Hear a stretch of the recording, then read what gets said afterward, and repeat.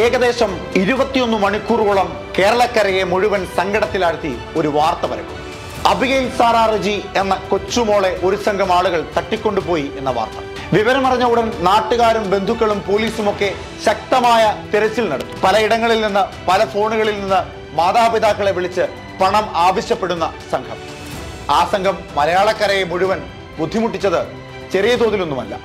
ഒടുവിൽ ഇരുപത്തിയൊന്ന് മണിക്കൂറുകൾക്ക് ശേഷം കുട്ടിയെ കൊല്ലം ആശ്രമ മൈതാനത്ത് അവർ ഉപേക്ഷിച്ചു പോകുന്നു.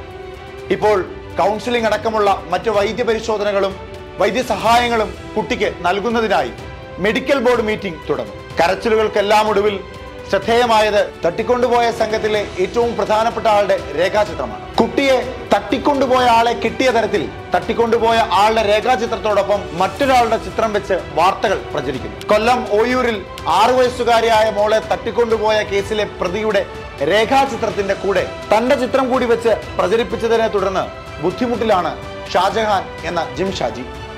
സമൂഹ മാധ്യമങ്ങളിലടക്കം ഫോട്ടോ വെച്ചുള്ള പ്രചരണം ശക്തമായതിനെ തുടർന്ന് കുണ്ടറ പോലീസ് സ്റ്റേഷനിൽ സ്വമേധയായെത്തി വിവരമറിയിക്കുകയായിരുന്നു ഷാജി. സ്വമേധയ എത്തിയെങ്കിൽ പോലും പോലീസ് രണ്ടു മണിക്കൂറോളം പിടിച്ചു നിർത്തി മൊബൈൽ ഫോൺ അടക്കമുള്ളവ പരിശോധിച്ചതിന് ശേഷം കുറ്റക്കാരനല്ല എന്ന് മനസ്സിലായിട്ടാണ് വിട്ടയച്ചതെന്ന് ഷാജി പറയുന്നു. മുൻപ് മോഷണ കേസിൽ പ്രതിയായതുകൊണ്ടാകാം താനായിരിക്കും പ്രതിയെന്ന മുൻധാരണയോടുകൂടി ആളുകൾ വേട്ടയാടിയത്.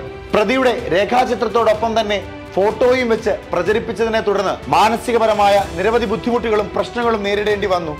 ഒപ്പം കൊല്ലം ചന്ദനത്തോപ്പിലെ വീട് അജ്ഞാതർ അടിച്ചു തകർക്കുകയും ചെയ്തു. മനസ്സുകൊണ്ട് പോലും ചിന്തിക്കാത്ത ഒരു കാര്യത്തിന് ആരുടെയോ മനസ്സിൽ തോന്നിയ ഒരു തോന്നലിന്റെ പുറത്ത് സമൂഹ മാധ്യമം എന്ന പാരലൽ സമൂഹത്തിൽ വേട്ടയാടപ്പെട്ടുകൊണ്ടിരിക്കുകയാണ് ഷാജഹാൻ എന്ന ജിം ഷാജി